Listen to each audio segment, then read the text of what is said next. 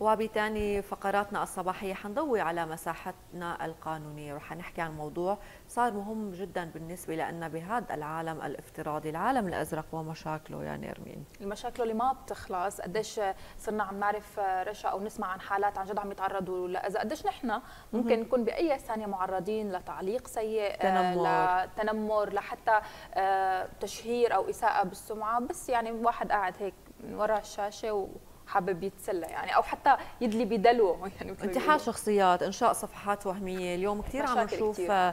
على النت وعلى المواقع التواصل الاجتماعي إنه اليوم الدولة السورية بعد القانون يلي أصدرته صار في حالات كثير ل يعني صار الناس هدول اللي كانوا قاعدين بس على صفحات وهمية وعلى مضايقات. وتنمر صرنا نشوف اليوم آه، إعلانات وصرنا نشوف اليوم إنه نحن بقبضة الأمن. هدول القصص يمكن خففوا شوي من عبء الإساءة بهذا هذا العالم الافتراضي. اليوم ضمن فقرتنا القانونية حنضوي أكثر على هذا الموضوع ورح نعرف اليوم شو إلنا وشو علينا. هدول التفاصيل حيذكروا لنا إياهم أكيد لليوم ضيفنا المحامي فادي رحال يسعد صباحك. يسعد أوقاتك يسعد أوقات السادة المتابعين. الله يعطيكم ألف عافية. يسعد صباحك واهلا وسهلا فيك. لما نحكي عن موضوع الخصوصية بعالم ال social media في كثير هيك إشكالات بتصير حوالي. مثل مثلا آه، إنه أنا حاطة بوستاتي للعامة أو أنا حاطة صورتي للعامة ولكن بوستاتي أو صوري تم استخدامهم آه، يعني اتخذوا من صفحتي الشخصية وتم استخدامهم بطريقة سلبية. فهون يعني بيكون السؤال إنه أنا كيف بقدر بحمي خصوصيتي؟ اليوم أنا كيف بهذا العالم وبهي التجاوزات اللي ممكن تصير عبر ال social media كيف اليوم الفرد بيقدر يحمي خصوصيته وفق القانون السوري؟ هلأ طالما انطلقنا من الخصوصية أكيد بدنا نوضح للسادة المتابعين شو يعني الخصوصية بداية. هلأ الخصوصية دائما نرجع للتعريف المذكور ضمن القانون. نحن عندنا بالنسبة لنا الجمهورية العربية السورية كان في تطور تشريعي القانون المرسوم رقم 17 لعام 2012 آه، بعدين صدر عنا القانون رقم 20 لعام 2022 القانونين وضحوا المراد بالخصوصية وكانوا قراب كثير لناحية إبراز ما هي الخصوصية، الخصوصية هي حق الفرد في حماية أسراره الشخصية أو الملاصقة للشخصية أو العائلية أو سمعته أو مراسلاته، حتى أبعد من هيك بدنا نحكي على نشاطه عبر الشبكة، يعني أنا شو بتصفح؟ إذا تم تسريب معطيات التصفح تبعيتي كمان تعتبر انتهاك لخصوصيتي، طبعا هذا التعريف بالمادة الأولى من القانون رقم 20 اللي وضح شو هي الخصوصية، انطلقت من فكرة كثير حلوة وأساسية، إنه إذا أنا ناشرة منشور عندي على حسابي. بصراحة هون طالما تمت عملية النشر فانت ابرزتي إلى العالم اللي هو الواقع الافتراضي. شيء عم تقولي علنا إنه هذا ما خصوصية. لأنه أنا لما عم نزله على مواقع التواصل الاجتماعي معناته عم ليس خاصا. ولكن بننتقل لحقوق أخرى. يعني إذا عم نحكي عن دراسة أو بحث علمي لإليك وأنا أجيت نسخته وسحبته ونقلته وذكرته باسمي هون صار في قانون آخر آه، مجرم لهي الأفعال أو بحاسب عليه. أو مثلا صورتك الشخصية. هلأ هون بدنا ننتقل لأبعد من هيك. إذا أنا سحبت الصورة الشخصية ومثل ما حكيت إنه موضوع إنشاء حساب نفس حسابي بصورتي باسمي. فبالتالي هذا جرم جديد على فكرة بالقانون الجديد. أنا يعني بتشكرك على الإيضاح لأنه فعلا هي من النصوص الجديدة ما كانت موجودة بالقانون القديم اللي هي انتحال حساب شخصي للغير.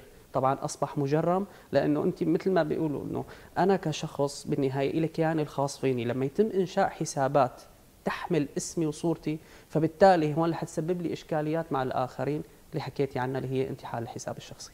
طيب بهدول الحالات خلينا نحكي عن القوانين الخاصة بمواقع ال social media. اليوم اللي عم يعمل صفحة وهمية عم يحاول إنه يتدارك كل العثرات اللي ممكن تكشفه يعني ولكن القانون لا في ثغرة ما يكشفوا فيها. آه، يعني أنا آه، من تجربة شخصية يعني بالحساب السابق إجاني طلب صداقة من اسمي وصورتي. بعت لي مني لإلي يعني. تماما. آه يعني عملنا حملة تسكير الصفحه ولكن صار في مشاكل كثير بعدها يعني صار في ابتزاز وصار في إنه صور ما هي الصفحه ما أنت وقت اللي بتعمل صفحتك عامة عم تنزل صورك أكيد مانك خايف من شيء يعني ما في شيء خاص فيها يعني هدول الأشخاص شو القوانين اليوم اللي بتحمينا نحن قانونيا؟ هلأ نحن مثل ما حكينا عن القانون رقم 20 لعام 2022 اللي هو القانون الصادر الجديد ب 18 4 2022 هذا القانون لننطلق منه. م. آه، أنا كشخص ضمن الفرضية اللي اعطيتيني إياها إنه أنا عم لاقي اجاني طلب صداقة. طبعا انتبهي هون قصة كثير خطيرة إنه أنا أرجع لعندك أنت ذات نفسك بحسابك لأبعث لك طلب صداقة. هي إحدى الأساليب لضرب الحساب الأساسي. كيف يعني؟ أنا بعمل حساب رديف للحساب الأولاني صار عندي حسابين. حساب حقيقي وخلينا نسمي الحساب الثاني مزيف. وبالتالي شو بصير بيبعتوا طلب لإلك قبلتيهم بيرجعوا بنفس الوقت بيبعتوا لأصدقائك طلبات صداقة بيرجعوا بيبلغوا عن حسابك إنه حساب مزيف. صحيح. شو اللي صار هون؟ اداره فيسبوك فورا بتعطل حسابك. رغم انه أنت صاحبه الحساب الحقيقي وبيبقى الحساب المزيف. هون بدك تنتبهي لهذا الموضوع أنت. تبلغي أصدقائك طبعا بتنزلي منشور إنه أنا ما عندي غير هذا الحساب وبتذكري رابط الحساب مشان العالم تعرفه. وبتطلبي منهم إنه رجاء عدم قبول طلب صداقة أو إضافة، أنا ما عندي غير هذا الحساب لأنه قبول للطلب رح يكون نقطة ضعف لحسابك، لأنه صحيح. أي إبلاغ إنه في عندي حساب منتحى لشخصيته فورا رح يعطوا لك حسابك الأساسي.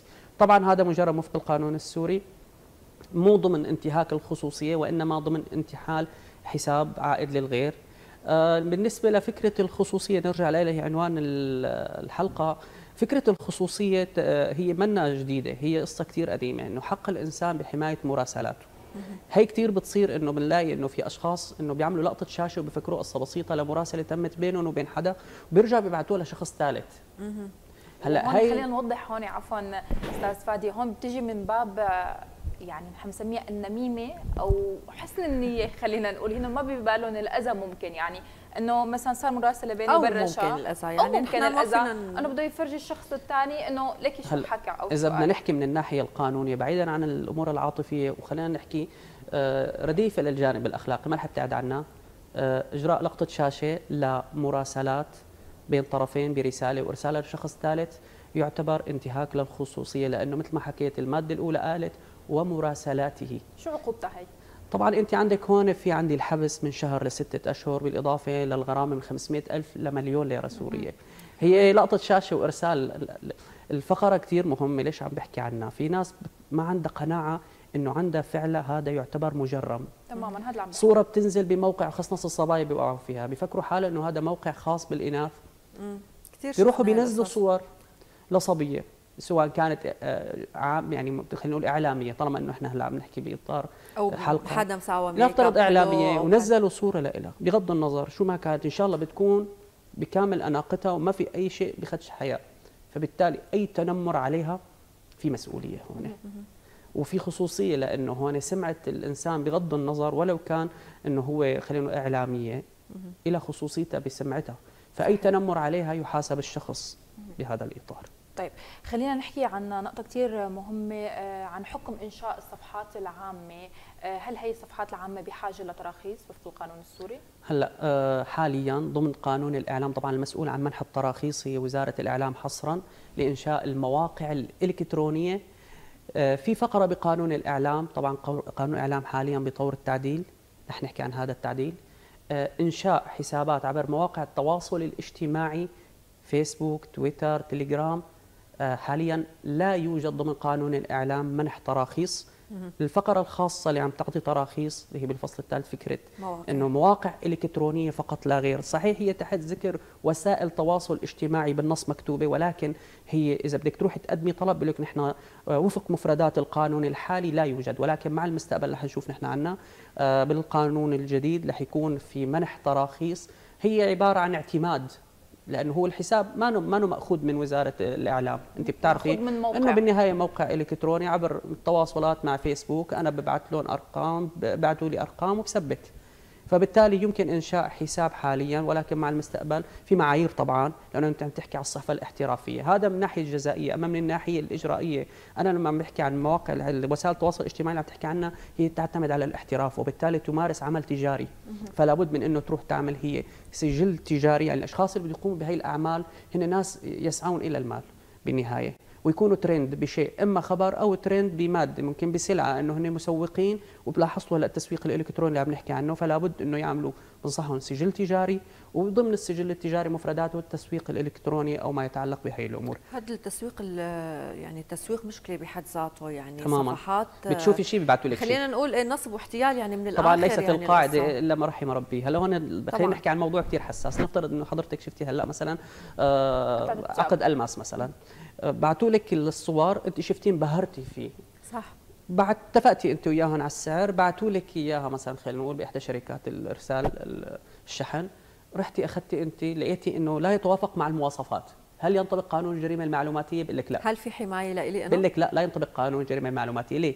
لأنه أنا لما عم بحكي عن سلعة وعم بحكي عن منتج وعم بحكي عن شيء مرسل لا يتوافق مع المواصفات. انتقلت لقانون حماية المستهلك. صح. عالج هذا الموضوع بدقة وعاقب عليه. بس ايمت أنا بطبق الجريمة المعلوماتية. لنفترض تواصلتي معهم انت وقلتي لهم إنه المنتج لا يتوافق مع الطلب تبعي. يعني إنه أنا مثلا بلوزة طلبتها مثلا بهذا اللون بعثوا لي بلون ثاني صح. رجعتي قالوا لك طيب ما تواخذينا نحن أخطأنا بالإرسال كان الغرض لوحدة ثانية بس نحن بالغلط. بعثنا لك يا لك نحن ما عم نشوف هدول الردود هن موجودين على فكرة. أنت عم تشوفي الأشخاص وعم يتواصلوا في إرساليات وفي أرقام جوالات عم يتم التواصل بيناتهم. بس الحالات الأكثر أستاذ عم تكون إنه الرد ما عم بيكون هيك إنه هاي اللي شفتي وهذا لأجل هيك فيك تشتكي بس وليس مو, مو اللي بدي أحكيها هون بدقة. مو بموجب قانون مكافحة الجريمة المعلوماتية قانون حماية المستهلك. انه أنت كشخص بعتني منتج لم يتوافق مع المواصفات. وفي عقوبة على هذا الموضوع. ولكن أنا بدي أرجع لموضوع حلقتي اللي هو الجريمه المعلوماتيه بهذا الإطار. لنفترض جاوبت معهم وقلت لهم أنا حس اني okay رح أرجع أبعث لكم إياها. ورجعت بعثت على نفس العنوان اللي تم الإرسال منه لإلي. فبالتالي هون أكيد رح يعملوا block ويحظروني هون وقتها بصير اسمه الاحتيال عبر الشبكة.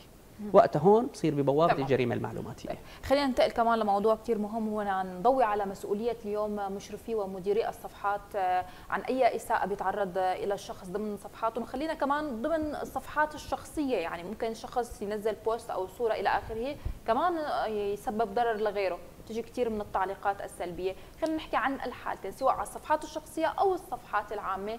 آه، المسؤولين عن هي الصفحات آه، شو اليوم دورهم؟ هلا طالما انك قبلتي انك تكوني ادمن ادمن يعني مشرف أو مسؤول أو مدير بغض النظر عن التسمية أو الصلاحيات الممنوحة. أه بحب لك من الناحية العملية إنه أي شكوى مثلا لما يجيني ملف جريمة معلوماتية لما بدي أقدم شكوى على صفحة عامة أول الأشخاص اللي بيتم بصراحة استدعائهم استدعائهم أو تقديم الشكوى لناحيتهم إذا ما تم التجاوب من قبلهم للشكوى تبعتي يعني ممكن أتواصل معهم شخصيا واقول لهم لو سمحتوا هذا المنشور بسبب إساءة ومساءله قانونية. إذا تجاوبوا وحذفوا التعليق أو المنشور وفعلا هن عندهم حسن نية بهذا الموضوع ما في مساءلة. أما إذا أنا تواصلت معهم وما صار في تجاوب بيناتهم فهون في مساءلة قانونية عليهم. عن أي منشور أو تعليق بيتم إيراده ضمن التعليقات. بس برد بعيد في شيء اسمه دائما بالجريمه الركن المعنوي اللي هو يعلم ويريد. فإذا إدارة الصفحة أو الأدمن هدول شافوا وعرفوا ويضلوا مستمرين بالإبقاء على التعليق أو المنشور رغم الإبلاغ فلا بد من إبلاغه لحتى تقوم المسؤولية. لاجل هيك بنصح الشخص إنه يكون حريص مو أي صفحة ولو كانت مشهورة. لا تركض وراء الشهرة لأنه أي بوست أو تعليق ممكن أنت بيعملوا لقطة شاشة. بيتم المتابعة الفنية للأدمن الموجود فأنت أول أشخاص اللي يتم استدعائهم. فحتصير مشكلة لك فحاول تنتقي الأماكن اللي أنت بتكون آدمن فيها لأنه أنت مسؤول عن تصرفاتهم فيما بعد. طيب أستاذ خلينا هيك نروح. التجارب الشخصية دائما نحن بنتعلم منها ويمكن اليوم من خلال عملك في حالات كثير عندك في مدة عليه وفي دعوة وفي أشخاص إن كان إعلاميين إن كان أشخاص عاديين من تنمر من إساءة من ألفاظ سيئة. خلينا نحكي شوي عن المشاكل الموجودة عندكم بالمكتب مو بالتفصيل ولا بالأسماء أكيد نعطي حالات اليوم شو عم بيصير يعني؟ داخل المحاكم وبس سؤال إذا كانت الصفحة يعني اليوم أنا عم أسيء لأي حدا ولكن أنا خارج البلد القانون قادر يحميني بصفحة خارج البلد؟ هلا نحن عمليا لما يتم تقديم هلا سؤالك فيه شقين اللي هي الحالات العملية وبالنسبة لخارج البلد خلينا ننتقل لخارج البلد لأنه سوريا بتعرفي حاليا ضمن الأفق اللي نحن فيه والحاله اللي نحن فيها عندنا كثير سوريين صاروا خارج البلد. صحيح. وبالتالي ممكن يصير في فعل جرمي يرتكب. الجريمه المعلوماتية منا بعلبه الجريمة المعلوماتية هي جريمة عالمية الآثار والنتائج. صحيح. فممكن الشخص يكون موجود بألمانيا. وينزل تعليق أو منشور بيتعلق بصفحة أو بحساب بسوريا ويصير لشخص قاعد بالامارات فلاحظي أنا صار عندي أكثر من قانون. بهي الحالة طبعا يتم تقديم شكوى رسمية بهذا الإطار. مم. يتم تقديم شكوى رسمية بهذا الإطار ومتابعة هذا الشخص بصير في إذاعة بحث عليه للشخص. آه، إذا ما طبعا بيتم الإبلاغ للحضور. إذا لقوا إنه ما عم يتجاوب للحضور أو المراجعات الإدارية اللي عم بتصير. بصير اذاعه البحث عليه بصير مطلوب. وإذا كان الموضوع جدا خطير عم نحكي لابعد من هيك. مسألة المساس بهيبة الدولة أو المساس بسمعة البلد اللي هو بينتمي لها. ممكن توصل لعندك أنت الانتربول اللي هي أنت عندك اذاعه بحث أو آه، بطاقة خاصة فيه للبحث عنه. طيب هيك حالات سريعة موجودة عندك حالات سريعة. خلينا نحكي أكثر شيء. عندك أنت موضوع ما يتعلق الصور المفبركة لناحية الإناث أكثر شيء. ممكن تكون صور فاضحة إما مفبركة أو حقيقية إما تهديد بالنشر أو النشر بالنسبة لها بنحب نذكر هون. إذا تمت عمليات النشر لصور مفبركة فأنا عندي حبس وغرامة عندي الحبس من سنة لسنتين والغرامة من 2 مليون ل 3 مليون. خلينا نركز على العقوبة. هي إذا كانت مفبركة يعني أنا جبت قصيت ملامح آه، وش صبية ودخلتهم ل مثلا لصورة عارية لصبية أخرى. فبالتالي هون عندي هي العقوبة. وممكن تكون فعلا الصور حقيقية للصبية يعني مسروقة من جوالها. وهون بنصحها إنه جوالك لا تسلميه لمين ما كان يكون. حتى أثناء الصيانة ما بتروحي بتقول لك تعي بعد ساعة. ما عندي شيء اسمه تعي بعد ساعة. بضل فوق راسه يصطفل. هو عم يشتغل شغله فبالتالي أنا من حقي إني أحمي خصوصيتي. وما بنعير الجوال. في ملاحظة نحكي عنها كثير مهمة. إعارة الجوال لإجراء مكالمة. ممنوع منعا باتا نعطي موبايلنا لأي شخص. نحن ماشيين بالشارع. كثير مكان تكون ماشية بالشارع إنه لو سمحت أنا موبايلي مثلا فصل وبدي احكي تليفون ضروري. انت بتعرفي هذا التليفون لمين ممكن يكون؟ يصير. ممكن يكون صبيه مخطوفة أو شاب مخطوف وعم عم يتواصلوا مع أهله للشاب فهن أكيد رح يشتكوا على هذا الرقم اللي هو رقمك. إعارة الجوال آه، ترك الجوال بمكاتب للشحن مثلا. إنه تتركيه عم تشحني جوالك بتعطيه بتثقي لا تثقي بحدا. هذا الجوال له كلمة مرور ما بتنعطى لأي شخص. وأي شخص بيدخل لمنظومة معلوماتية. خلينا نحكي مثل هذا الجوال. مثلا أنت هذا جوالك تاركتيه على الطاولة التهيتي بقراءة ورقة لقيتي شخص ماسك الموبايل هذا اسمه جرم الدخول الغير مشروع. وممكن يكون أنت عم تعطيه الموبايل يحكي مكالمة تلاقيه فات لأماكن ثانية هذا اسمه جرم تجاوز حدود الدخول المشروع. حتى يمكن في معلومه الزوجين بين بعضهم ممنوع يفتحوا موبايلات بعد هلا هلا بيزعلوا منا الساده المتابعين ينقسموا لقسمين.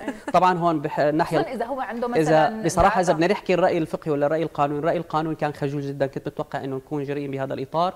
كان حازم وشديد لهي الناحية. اسمه جرم الدخول غير مشروع لم يستثني العلاقات الزوجية ممنوع من العقوبه ممنوع. وبالتالي يا صبايا؟ ممنوع. فبالتالي تفتيشك لجوال زوجك وقت الجد صراحة إذا بتثبت الواقعة الجرمية عليها وصارت بالإمارات راح زوج اشتكى على زوجته. للأسف انتبه خصوصية الرجل مو إنه ممكن ممكن يكون طبيب ممكن يكون محامي ممكن يكون آه، ضابط بالجيش مثلا. يعني. عنده عنده خصوصيته. كمان كمان الأنثى بس طبعا أنا كمان الانثى عندها تراسلات ممكن تحكي مع أختها مثلا بأمور خاصة نسائية. تماما. آه، بس طبعا كل هالحكي عم يحكيه ضمن بيئة آمنة ونظيفه فيها الثقة فيها المحبة مو بيئة فاسدة. آه، بنحكي على موضوع كثير مهم وحساس هي الناس بتفكر إنه بس إذا علقت يعني بس إذا قمت بالفعل الجرمي. لا أبعد من هيك القانون كان حريص على إعادة مشاركة منشور. يعني بمعنى آه نفترض النرمين مثلا نزل منشور مسيء. آه أنا جيت أنا بوصي فادي الرحال رجعت شاركته عندي. أيوه. هلأ إذا هي في مخالفة قانونية أنا هون إعادة مشاركتي أو إعادة نشري للمنشور تعتبر هي إحياء للفعل الجرمي وبالتالي أنا محاسب بنفس أفعال الجرمية اللي هي معاقب عليها. نحكي على موضوع ثاني أنا مستبق عليكم أكيد مشان وقت الحلقة اللي هي ما في حدا طبعا هي ختام المعلومة الأولى دائما بأي مكان يكون فيه ما فيك تتحجج إني ما بعرف. المادة 222 من قانون العقوبات بتقول لا يعذر أحد بجهله الناحيه القانونية الجزائية. وبالتالي ما فيك تقول ما بعرف القانون موجود على الموقع الرسمي لمجلس الشعب على المواقع الرسميه الإخبارية السورية الكريمة كمان عم تعمل حلقات لتحكي لك عنه. تعذر فقط باي بحالة عامة في استثناء مانع عقاب اللي هي ثلاث أيام من نشر القانون آه، بالجريده الرسميه، إذا أخطأت خلالها ثلاث أيام بنسامحك فيها، أما بعد هيك خلص يعني صفت ثقيله نحن هيك بخلاص الحكي ما فينا ننشر بوست نسيء آه، لحدا وما فينا نخلي حدا يعلق عليه واعاده النشر كمان في عقوبة. تمام إعادة النشر كالنشر. وبالمجموعات أي صورة هيك حابين حابين نقضي وقت كمان هي كلها فيها يعني عقوبة قانونية مثل بيقولوا. صحيح. بدنا نشكرك لكل المعلومات اللي قدمتها. هيك بنتمنى اليوم دائما إحنا بنضوي على نقطة إنه القانون دائما يعني بيوضع لحمايه المواطن. شكرا لك أستاذ ولحضورك بتشكرك. الله يعطيكم ألف عافية. كل أهلا وسهلا.